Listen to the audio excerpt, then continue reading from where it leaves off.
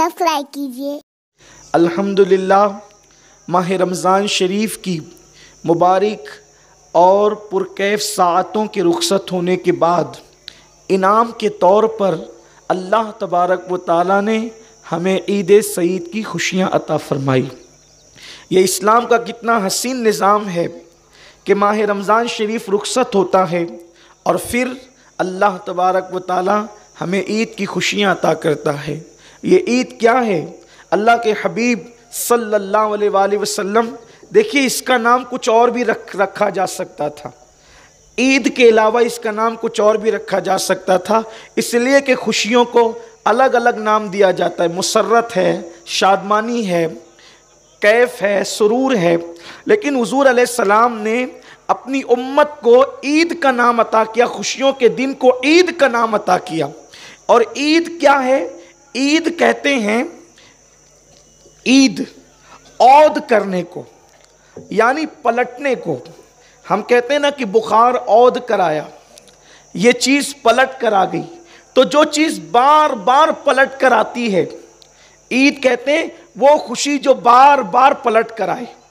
इसका मतलब ये है कि अल्लाह के हबीब ने उम्मत को गारंटी दी है कि गम पलट कर आए, ना आए लेकिन है मेरी उम्मत तुम तक खुशियाँ ज़रूर पलट पलट कर आएगी।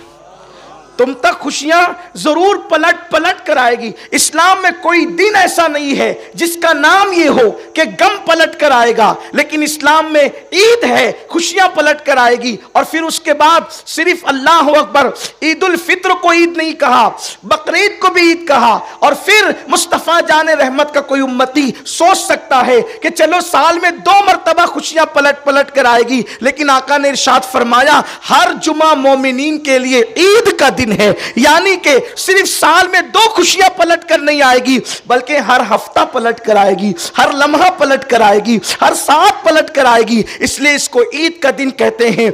ईद के दिन गुस्से में आने का दिन नहीं, ईद के दिन जलाल में आने का दिन नहीं, ईद के दिन गजब में आने का दिन नहीं। ये खुशियों का दिन है। इस दिन खुशियाँ इसलिए है कि अल्लाह ताला खुद खुशी का इजहार करता है। और जब खुशी का इजहार करता है तो बंदों से कहता है, ए पापियों, आज तुम्हारे पाप नहीं देखूँगा ईद का दिन दिया है तो उसके सदके सारे गुनाहों को बख्श दूँगा, सारे गुनाहों की मगफिरत कर दूँगा। ईद के दिन जब ईद की नमाज़ पढ़कर मुसलमान अपने घरों की तरफ़ पलटते हैं तो अल्लाह इस शान से ईदी अता करता है कि फरिश्तों जाकर ऐलान कर दो कि गुनाहों से ऐसे पाक हो गए हैं, जैसे अभी अपनी माँ के पेट से पैदा हुए हैं। जो मांगेंगे अता करूँगा, जो मांगेंगे दूँगा। और उसके बाद फरमाता है, तुम्हारे रोज़े कबूल किए, तुम्हारी नमाजें कबूल की, तुम्हारी तरावी कबूल की, तुम्हारी तस्वीर कबूल की। बस बात इतनी है कि बंदा अल्लाह से उम्मीद करे।